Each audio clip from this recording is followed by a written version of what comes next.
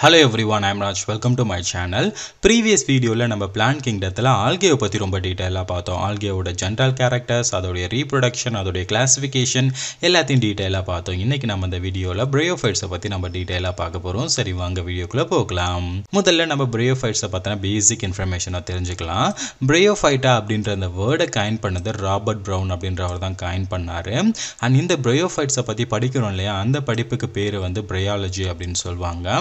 And next father of bryology யார் அப்படின்னா Hedwig அப்படின்றவர் தான் ஃபாதர் ஆஃப் பிரையாலஜி பட் ஒரு சில இடத்துல வந்து ஹெட்விக்கோட நேமு கொடுத்துருக்க மாட்டாங்க. கேவஸ் அப்படின்னு சொல்லிட்டு கொடுத்துருப்பாங்க. ஏன்னா ஒரு சில சயின்டிஸ்ட் மட்டும் இன்னும் என்ன நம்புகிறாங்க அப்படின்னா கேவஸ் தான் வந்து ஃபாதர் ஆஃப் பிரையாலஜி அப்படின்னு சொல்லிட்டு நம்பிட்டு இருக்காங்க. அப்போ இந்த ஃபாதர் ஆஃப் பிரையாலஜியில் நீங்கள் தெளிவாக தெரிஞ்சுக்க வேண்டியது ஹெட்விக்கு தான் வந்து நிறைய பேர் அக்செப்ட் பண்ணிட்டாங்க. பட் ஒரு சில சயின்டிஸ்ட் மட்டும் கேவஸ் தான் வந்து ஃபாதர் ஆஃப் பிரையாலஜி அப்படின்னு சொல்லிட்டு நம்பிட்டு இருக்காங்க. அப்போ இந்த ரெண்டு பேரையுமே நீங்கள் நல்லா ஞாபகம் தெரிஞ்சுக்கணும் and next father of Indian bryology யார் அப்படின்னா சிவ்ராம் கேஷியாப் அப்படின்றவர் தான் ஃபாதர் ஆஃப் இந்தியன் பிரையாலஜி இவர் தான் அந்த சிவ்ராம் கேஷியாப் ஓகேங்களா பார்த்துங்க அந்த பிக்சரை அண்ட் பேசிக்காக நீங்கள் இதில் தெரிஞ்சுக்க வேண்டியது இந்த நேம் எல்லாம் நீங்கள் தெரிஞ்சுக்கோங்க. ஏன்னா இதுல இருந்து அடிக்கடி கொஸ்டின்ஸ் வந்து கேட்டுட்டு இருக்காங்க சரி நெக்ஸ்ட் வந்து நம்ம பிரயோஃபைட்ஸோட ஜென்ரல் கேரக்டர்ஸை பற்றி நம்ம பார்க்கலாம். இந்த பிரயோஃபைட்ஸை வந்து நம்ம ஃபஸ்ட்டு லேண்ட் பிளான்ஸ் அப்படின்னு சொல்லுவோம் இதுக்கு முன்னாடி பார்த்த ஆல்கேலாம் இருக்கு இல்லையா?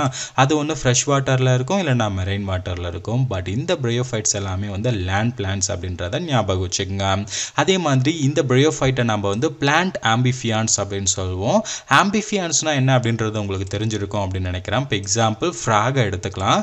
ஃப்ராகை வந்து நம்ம ஆம்பிஃபியான்ஸ் அப்படின்னு சொல்லுவோம். கரெக்ட்டுங்களா? ஏன்னா அது வாட்டர்லேயும் இருக்கும் லேண்ட்லேயும் இருக்கும். இந்த மாதிரி ஒரு ஆர்கானிசம் இருந்தது அப்படின்னா அதை நம்ம ஆம்பிஃபியான்ஸ் அப்படின்னு சொல்லுவோம். ஃப்ராகுக்கு எதுக்கு வாட்டர் தேவைப்படுது? அது வந்து ரீப்ரொடக்ஷன் பண்ணணும் அப்படின்னா வாட்டர் கண்டிப்பாக தேவை. எக்கை வந்து பார்த்தீங்கன்னா வாட்டரில் தான் வைக்கும். அந்த எக்கு வந்து டேட்போலாக மாறும். அந்த டேட்போல் தான் வந்து ஒரு ஃப்ராகாக மாறும். கரெக்ட்டுங்களா ஸோ அப்போது ரீப்ரொடக்ஷன் நடக்கணும் அப்படின்னா இந்த ஆம்பிஃபியானுக்கு கண்டிப்பாக வந்து வாட்டர் தேவை அப்படின்றத ஞாபகம் வச்சுங்க அதே மாதிரி தான் இந்த ப்ரோயோஃபைட் இந்த ப்ரையோஃபைட் வந்து பார்த்தீங்கன்னா ரீப்ரொடக்ஷன் நடக்கணும் அப்படின்னா கண்டிப்பாக வந்து வாட்டர் தேவை அப்படின்றத ஞாபகம் வச்சுக்கோங்க. அதனால தான் இந்த ப்ரையோஃபைட்ஸை நம்ம பிளான்ட் ஆம்பிஃபியான்ஸ் அப்படின்னு சொல்கிறோம் நெக்ஸ்ட் இந்த ப்ரையோஃபைட்ஸை பார்த்தோம் அப்படின்னா பொதுவாக வந்து டேம்ப் அண்ட் ஷேடி ஹேபிட்டேட்டில் நம்ம பார்க்கலாம். அதாவது எப்போவுமே தண்ணி இருக்க மாதிரியான ஒரு பிளேஸில் வந்து இந்த ப்ரையோஃபைட்ஸ் ரொம்ப அதிகமாக வளரும். இந்த ப்ரையோஃபைட்டில் வந்து வாஸ்குலார் திசுக்கள் வந்து கிடையாது அப்படின்றத ஞாபகம் வச்சுக்கோங்க. வாஸ்குலார் திசுக்கள் அப்படின்றது என்ன? ஜைலம் ஃப்ளோயம்லாம் இருக்கு இல்லையா? இந்த ஜைலம் ஃப்ளோயம்லாம் இந்த ப்ரையோஃபைட்டில் வந்து இருக்காது. அதே மாதிரி இந்த ப்ரையோஃபைட் வந்து ஏன் ஜைலம் ஃப்ளோயம் இல்லை அப்படின்னா இன்னொரு ரீசன் இருக்குது இது எல்லாமே வந்து ரொம்ப சின்ன பிளான்ட் சின்ன பிளான்ட் அப்படின்றது ஒன்றுலேருந்து மூணு சென்டிமீட்டர் தான் இருக்கும். அதுக்கு மேலாம் வந்து பெருசாலாம் இருக்காது. ஓகேங்களா? காமனாக இருக்கிறது எல்லாமே ஒன்றுலேருந்து மூணு சென்டிமீட்டர் தான் இருக்கும். கொடுக்கணும் அந்த அளவுக்கு ரொம்ப சின்னதாக இருக்கக்கூடிய ஒரு பிளான்ட்ல வந்து வாட்டரை வந்து அப்சர்வ் பண்ணி கொண்டு போயிட்டு கொடுக்கணும் அப்படின்ற அவசியம்லாம் கிடையாது. இப்போ ஒரு பெரிய பிளான்ட் எடுத்துக்கிட்டோம் அப்படின்னா கீழே இருந்து மேலே வந்து கொண்டு போகணும். அதுக்காக கண்டக்டிங் இஷ்யூஸ் இருக்குது பட் இந்த மாதிரி ரொம்ப சின்ன பிளான்ட்டாக இருக்கிறதால அதில் இருக்கணும் அப்படின்ற அவசியம் கிடையாது. அதனால தான் இந்த மாதிரியான ப்ரையோஃபைட்டில் வந்து ஜைலம் ஃப்ளோயம்லாம் வந்து கிடையாது. அண்ட் ரொம்ப பெரிய ப்ரையோஃபைட் எது அப்படின்னு கேட்டிங்கன்னா இது வந்து ஃபேக்ட் இதை ஞாபகம் வச்சுக்கோங்க. ரொம்ப பெரிய ப்ரையோஃபைட் எது அப்படின்னு கேட்டிங்கன்னா டாசோனியா அப்படின்னு சொல்லுவாங்க. டாசோனியா இந்த டாசோனியா பிளான்ட் வந்து பார்த்தீங்கன்னா கிட்டத்தட்ட எந்த அளவுக்கு ஹைட்டாக இருக்கும் அப்படின்னா ஐம்பது சென்டிமீட்டர் வரைக்கும் வளரும். இதுதான் வந்து பார்த்தீங்கன்னா பெரிய ப்ரையோஃபைட் இருக்கிறதுலே வந்து லார்ஜஸ்ட் ப்ரையோஃபைட் அப்படின்றத ஞாபகம் வச்சுக்கோங்க. ரொம்ப சின்ன ப்ரையோஃபைட் எது அப்படின்னா ஜூப்சிஸ் ஜூப்சிஸ் ஜூப்சிஸ் தான் வந்து இருக்கிறதுலே வந்து ரொம்ப சின்ன ப்ரையோஃபைட்டு இதோட சைஸ் என்ன அப்படின்னா பாயிண்ட் ஃபைவ் சென்டிமீட்டர் ஓகேங்களா? இந்த அளவுக்கு ரொம்பவுமே வந்து சின்ன பிளான்ட் தான் இந்த ப்ரையோஃபைட் ஸோ அதனால தான் பேசிக்காக இதில் வந்து ஜைலம் ஃப்ளோயம்லாம் வந்து கிடையாது. வாட்டர் தேவை அப்படின்னா இது எப்போவுமே வந்து மாய்ஸ்டான ஏரியாவில் தான் இருக்குது வாட்டரை வந்து அது ஈஸியாக வந்து அப்சர்வ் பண்ணிக்கும். இண்டிவிஜுவல் செல்ஸ் எல்லாமே வந்து அப்சர்வ் பண்ணிக்கும் அப்படின்றத ஞாபகம் வச்சுக்கோங்க. அண்ட் இந்த டாசோனியா அண்ட் ஜூப் சிப்ஸையும் வந்து நல்லா ஞாபகம் வச்சுங்க அண்ட் நெக்ஸ்ட்டு இந்த பிளான்ட்டோட பாடியை பார்த்தோம் அப்படின்னா ஆல்கேவை கம்பேர் பண்ணும்போது ஒரு சில டிஃப்ரென்சேஷனை வந்து நம்ம பார்க்கலாம். அதாவது ரூட்டு ஸ்டெம்மு லீஃப் இந்த மாதிரியான ஸ்ட்ரக்சர்ஸை வந்து நம்ம பார்க்கலாம். அதாவது எக்ஸாக்டாக வந்து லீஃப் மாதிரி இருக்காது. Leaf like structure stem like structure இந்த மாதிரியான ஸ்ட்ரக்சர்ஸ் வந்து பார்த்திங்கன்னா இந்த ப்ரியோஃபைட்ஸில் வந்து நம்ம தெளிவாக வந்து பார்க்கலாம். அதே மாதிரி இந்த பிளான் பாடி வந்து ஹேப்லாய்ட் அப்படின்றத ஞாபகம் வச்சுக்கோங்க. அதே மாதிரி இந்த ஹேப்லாய்ட் பிளான் பாடி தான் வந்து கேமிட்டை வந்து ஃபார்ம் பண்ணும். கேமிட் என்னது? இந்த ரெண்டு கேமிட்டும் வந்து ஒன் ஆஃப் யூஸ் ஆகி ஒன்று மேல் கேமிட் வரும் ஒன்று ஃபீமேல் கேமிட் இந்த ரெண்டு கேமிட்டும் ஒன் ஆஃப் ஃபியூஸ் ஆகி தான் வந்து ஜைகோட் வந்து ஃபார்ம் ஆகும். இதுதான் நம்ம செக்ஷுவல் ரீப்ரொடக்ஷன் அப்படின்னு சொல்லுவோம். கரெக்ட்டுங்களா அப்போ இந்த கேமிட்டை வந்து ஃபார்ம் பண்ணுறது இந்த ஹெப்ளாய்டு பிளான் பாடி அப்படின்றத ஞாபகம் வச்சுக்கோங்க. அண்ட் இது வந்து கேமிட்டை வந்து ஃபார்ம் பண்ணுறதால இந்த ஹெப்ளாய்ட் பிளான் பாடியை நம்ம என்ன சொல்லுவோம் அப்படின்னா கேமிட்டோ ஃபைட் அப்படின்னு சொல்லுவோம். நிறைய பேர் வந்து கன்ஃபியூஸ் பண்ணிப்பாங்க. கேமிட்டோ ஃபைட்னா என்ன ஸ்போரோ ஃபைட்னா என்ன ஒன்றுமே புரியலையே அப்படின்ற மாதிரி எங்கிட்டே அடிக்கடி வந்து கேட்டுட்ருக்காங்க ரொம்ப ரொம்ப ரொம்ப சிம்பிளான ஒரே விஷயம் தான் இப்போ ஒரு பிளான் பாடி எடுத்துக்கலாம். பிளான் பாடி அப்படின்றது இதை தான் நம்ம பிளான் பாடி அப்படின்னு சொல்லுவோம். கரெக்ட்டுங்களா இந்த பிளான் பாடி வந்து கேமிட்டை வந்து உருவாக்குச்சு ப்ரொடியூஸ் பண்ணுச்சு அப்படின்னா அதை நம்ம கேமிட்டோ ஃபைட் அப்படின்னு சொல்லுவோம். மேல் கேமிட்டை தனியாக ப்ரொடியூஸ் பண்ணும் ஃபீமேல் கேமிட்டை வந்து தனியாக ப்ரொடியூஸ் பண்ணும். ஸோ இந்த மாதிரி ஒரு பிளான் பாடி கேமிட்டை ப்ரொடியூஸ் பண்ணுச்சு அப்படின்னா அதை நம்ம கேமிட்டோ ஃபைட் அப்படின்னு சொல்லுவோம். சப்போஸ் ஒரு பிளான் பாடி ஸ்போர்ஸை வந்து ப்ரொடியூஸ் பண்ணுச்சு அப்படின்னா அதை நம்ம ஸ்போரோ ஃபைட் அப்படின்னு சொல்லுவோம். ரெண்டுத்துக்கும் இதான் வித்தியாசம். ஓகேங்களா ஸோ இதை ஞாபகம் வச்சுக்கோங்க. பின்னாடி நம்ம வந்து ரொம்ப டீட்டெயிலாக பார்க்கலாம். சரி இந்த பிரியோஃபைட்டில் பார்த்தோம் அப்படின்னா ரீப்ரொடக்ஷனுக்கு வருவோம்.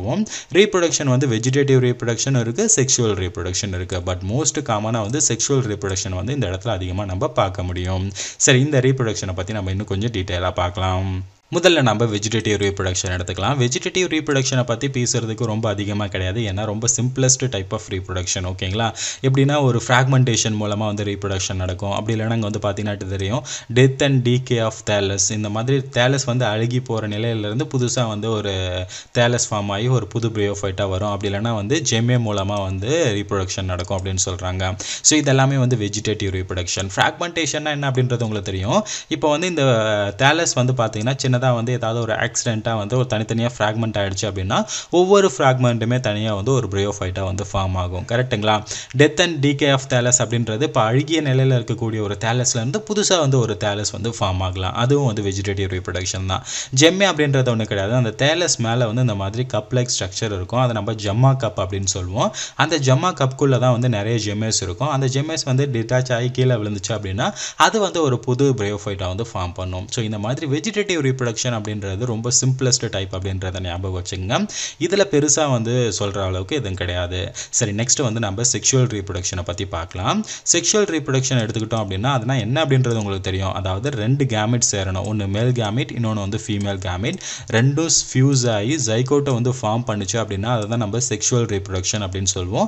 இந்த ப்ரையோஃபைட்லேயும் வந்து செக்ஷுவல் ரீப்ரொடக்ஷன் இருக்குது அப்படின்றத ஞாபகம் வச்சுங்க அண்ட் மேல் செக்ஸ் ஆர்கனை வந்து நம்ம இதில் என்ன சொல்லுவோம் அப்படின்னா ஆந்த்ரிடியம் அப்படின்னு சொல்லுவோம் ஃபீமேல் செக்ஸ் ஆர்கனை வந்து நம்ம ஆர்கிகோனியம் அப்படின்னு சொல்லுவோம் மேல் செக்ஸ் ஆர்கன் தனியாக இருக்குது ஃபீமேல் செக்ஸ் ஆர்கன் தனியாக இருக்குது ப்ரையோஃபைட்டில் ஓகேங்களா அண்ட் இந்த male and female sex organ வந்து பார்த்தீங்கன்னா தனித்தனி தேலஸில் இருக்கலாம். இல்லைனா ரெண்டுமே வந்து ஒரே தேலஸில் இருக்கலாம். ஸோ இதுவும் வந்து நல்லா ஞாபகம் வச்சுங்க ஆனால் பேசிக்காக நீங்கள் தெரிஞ்சுக்க வேண்டியது மேல் செக்ஸ் ஆர்கனை நம்ம ஆந்த்ரிடியம் அப்படின்னு சொல்லுவோம் ஃபீமேல் செக்ஸ் ஆர்கனை நம்ம ஆர்கிகோனியம் அப்படின்னு சொல்லுவோம் அண்ட் இந்த ஆந்த்ரிடியம் வந்து ஸ்பெர்ம்ஸை வந்து உருவாக்கும். அந்த ஸ்பெர்ம்ஸை வந்து நம்ம இங்கே என்ன சொல்லுவோம் அப்படின்னா ஆந்த்ரோஸ்வாய்ட்ஸ் அப்படின்னு சொல்லுவோம் இந்த ஆந்த்ரோஸ்வாய்ட்ஸ் அப்படின்றது பை ஃப்ளாஜலேட் அப்படின்றத ஞாபகம் வச்சுங்க ஸோ இந்த மாதிரி ஒரு ஸ்ட்ரக்சர் இருக்கும். ரெண்டு ஃப்ளஜல்லாக இருக்கும். இதை தான் நம்ம ஸ்பெர்ம்ஸ் அப்படின்னு சொல்லுவோம். இதை நம்ம இந்த இடத்துல பிரயோஃபைட்டில் உருவாச்சு அப்படின்னா அதை நம்ம ஆந்த்ரோசாய்ட்ஸ் அப்படின்னு சொல்லுவோம். ஸோ ஸ்பெர்ம்ஸ்னு சொன்னால் கூட தப்பு கிடையாது. ஓகேங்களா அண்ட் நெக்ஸ்ட் ஃபீமேல் செக்ஸாக இருக்குன்னு பார்த்தோம் அப்படின்னா ஆர்கிகோனியம் அப்படின்னு சொல்கிறோம் இந்த ஆர்கிகோனியத்தில் இருந்து தான் வந்து எக்கு ஃபார்ம் ஆகும்.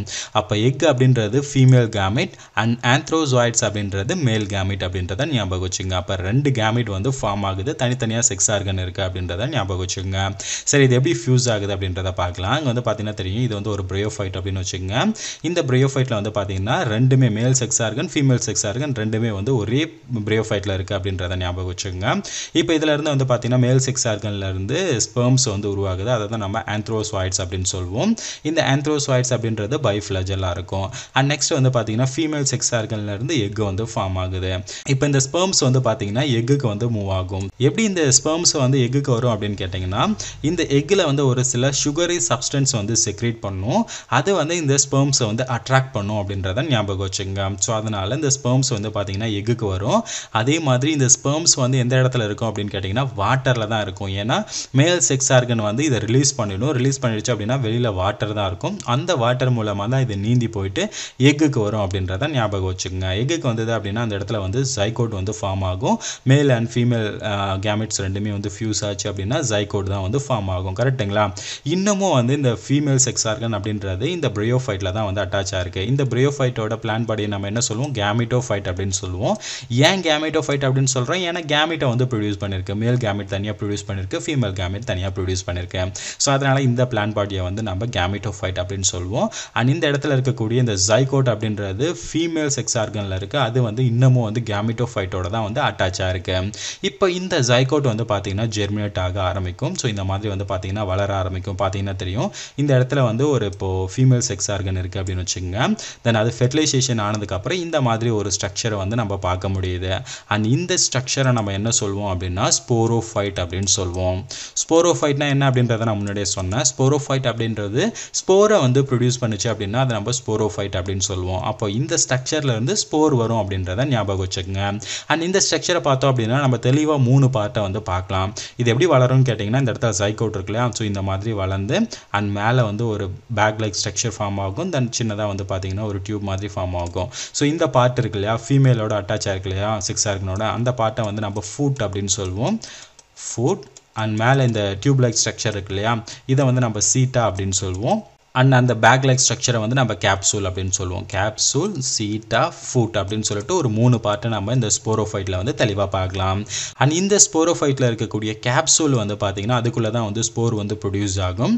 அந்த இடத்துல வந்து மியாசிஸ் நடக்கும். மியாசிஸ் நடந்தது அப்படின்னா ஸ்போர்ஸ் வந்து ஃபார்ம் ஆகும்.